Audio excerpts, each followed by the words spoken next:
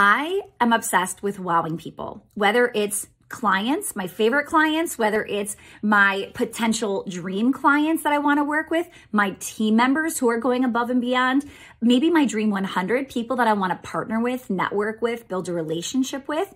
Now, there are some great things you can do just to be thoughtful and wow them, right? Might be just sending them a message, thinking out of, you know, thinking of them out of nowhere, not on their birthday when 300 people say happy birthday, but on a day that maybe no one's reaching out, right? There's also some really great low cost ways to gift some things as well.